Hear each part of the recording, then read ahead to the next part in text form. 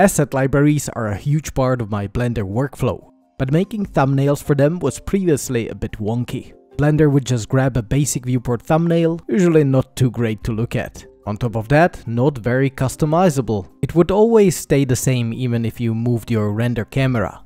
If you wanted something clearer, you'd have to render, save and re-import an image, which takes time. But now in Blender 4.5, it's way easier. You just pick your asset, hit capture screenshot preview, and boom, you can drag a box right in the viewport to define exactly what you want as the thumbnail. To reposition the box more precisely, you just hold down spacebar.